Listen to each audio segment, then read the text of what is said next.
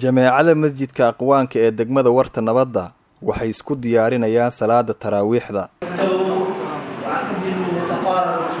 Imaamka salaaddu waa weriye maxamed aadan ibraahim oo loo yaqaano onkod. Muddo dheer ayuu ka mid ahaa imaamyada tuujiyo taraawiixda masjidkan.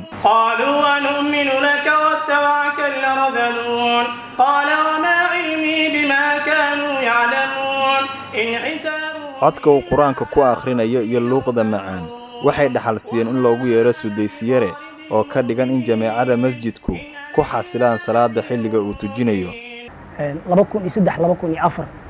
Ilaa iyo xilligaas ilaa iyo hadda masaajidyo kala duwan iyo magaalooyin kala duwan ayaan ka soo tujiyey oo sida magaalada muqdisho iyo magaalada nansaret oo waddanka ethoobiya ah ilaa iyo hadda toban iyo toddoba sano toban iyo lix sano ayaan jeclahay inay ka soo wareegatay. Ilaa xilligaasna waa tujinayay.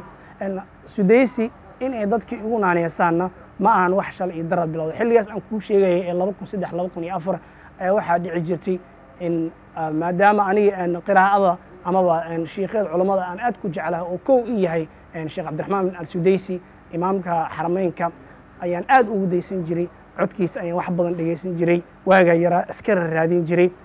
Allah subxaana wa tacaalana wuxuu uu caawiyey inaan codkiisii aan keeno. Inta badanna qur'aanka marka akhrinayna qaabkiisa ma ahani qaab kale xataa aanan u akhrin karin. Qur'aanka ayuu bartay isagoo yar waxuuna soo baray ubad badan isagoo soo ahaa macallin dugsi qur'aan. Inta uusan noqon saxafi ka shaqeeya warbaahinta madaxa bannaan. Laakiin soomaaliya waxaa jiri jirtay laga soo bilaabo laba kun iyo shan laba kun iyo lix laba kun iyo afar saan jeclahay. Waxaan ahaa macallin caawiye oo kaleeto ama macallimaad sidii soomaalida u taqaano. Xilligaas ayaa waxaan qur'aanka dhigi jiray gelin macalnimo aan dhigi jiray ama mar waxaa dhici jirtay macallinka oo koowaad dugsiga iska maamulaya ama iska leh inaan macallin labaad kala shaqeeyo oo ah dugsi aan ahayn dugsi aan wax ku soo bartay. Markii la qaxay oo laba kun iyo lix dabayaaqadeedii iyo laba kun toddoba bilowgeedii etoobiya markii aan tegey waxaan dugsi ka furtay halkaasi laba kun iyo toddoba bilowgeedii ilaa iyo laba kun iyo kow toban dhammaadkeedina. Oo bishii kow tobanaad aan jeclamiyaan bishii labiyo tobanaad inaan ka soo baxay. Halkaas muddo shan sano ay ahayd taqriiban shantaas sano runtii dhowr arday oo qur'aanka halkaas ku bartay ayaa jirtay arday badan ayaa ka aflaxday weriyanimadu waa xirfadda haatan uu ku shaqeeyo.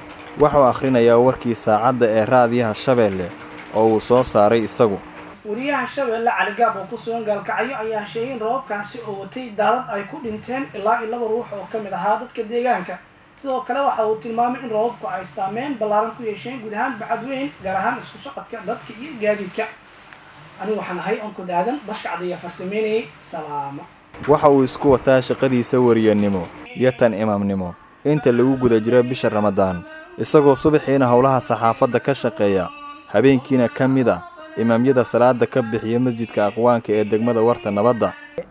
Marka ay timaado bisha ramadaanna waxaan inta badan ka codsadaa maamulka warbaahinta ee shabakadda warbaahinta shabeelle oo aan iminka ka tirsanahay inaan imaamnimadeydii iyo ayagoo ii og maamulkii iyo shabakadda warbaahinta iyo shaqaale inta badanba in jaanis la ii siiyo shaqadii culeyskii badnaa imaba laga yareeyo oo sida wararkii aan u raajiy maadaama anigu wardoona ah ama reporter in shaqada culeyskeeda laga kala yareeyo aan jaanis amaba fursad inta badan aan ku qaato inaan qur'aankii maalintii akhriyo amaba diyaariyo si habeenkii taraawiixdaadii.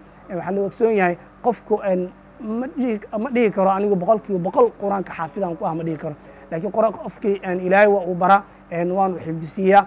Haddana waxaa mar walba u baahan tahay dadaal iyo ka warqab iyo mar walbaba joogteen inaad qur'aanka diyaariso.